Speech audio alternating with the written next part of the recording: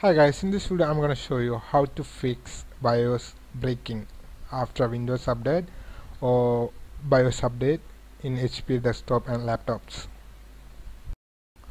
After you updating Windows or BIOS update, you are getting a black screen and no display. Uh, you should try this method.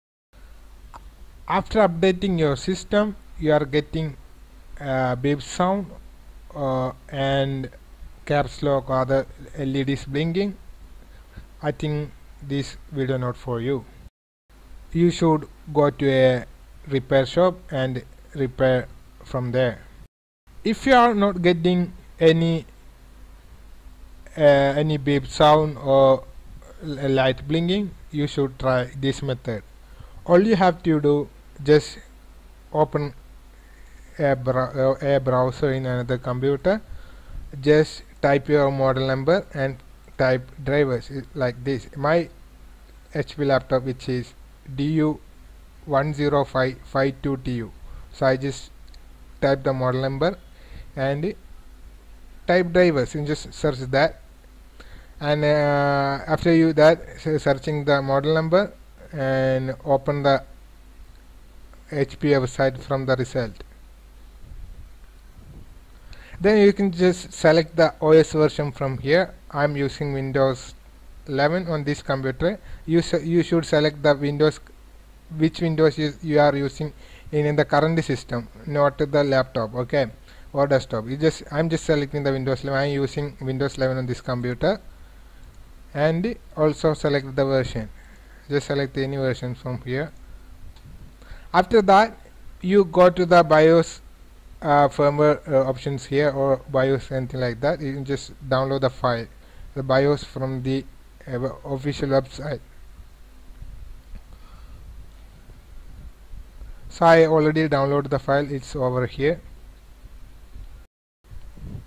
After downloading you should connect your pen drive. Any pen drive I, the, the pen drive must be in FAT32 format.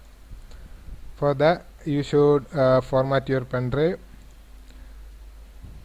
just open the run uh, windows press R for the opening run. Then open disk part just type the diskpart and hit enter. Then click list disk.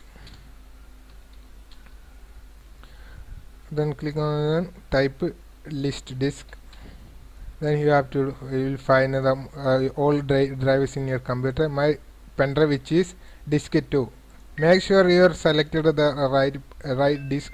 Don't select uh, another disk okay? I'm just uh, typing select disk 2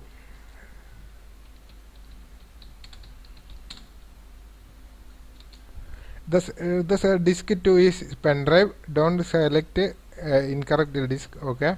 After uh, after going to the next step the all data from erased from the particular disk i'm make sure that you are selected the correct disk. I'm selected disk 2 which is my pen drive. After clicking that click type clean.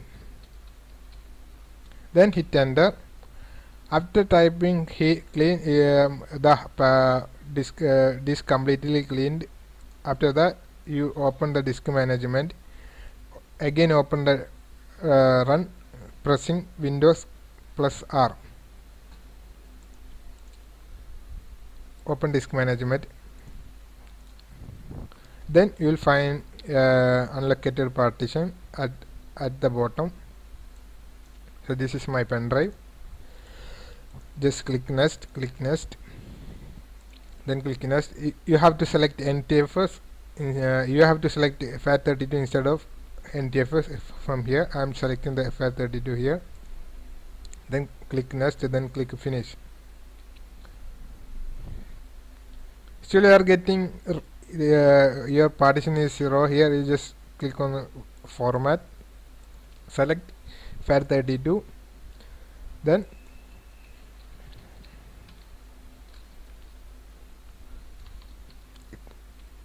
if you want any name you can just type any name.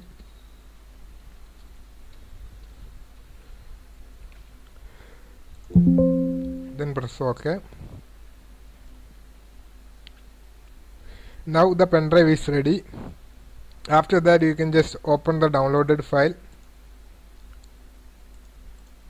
which is here. Then click on next. Then accept then click next.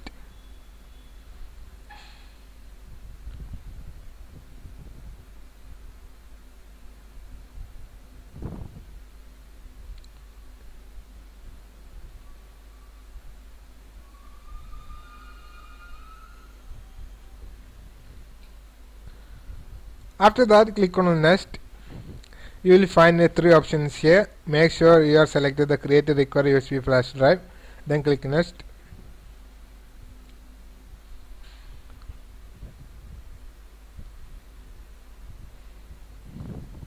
then you make sure you select the correct pen drive. As I my pen drive is listed over here. I just select that and click next. Wait to complete the process. Okay now it's uh, finished right now. You just connect the pen drive to the particular system. Then turn on the system. Wait for few seconds. After inserting after turning on the system multiple times the computer restarts. Then the windows will be uh, the computer will be okay after doing this process you are getting the same error uh, which means the black you, you are getting the black screen. Then you should uh, remove the battery if you are using a laptop. Or remove the BIOS uh, BIOS battery or and the main battery. Then reconnect the, both of them. Then try try to uh, turn on the system. If you are getting the same then you should repair from any repair shop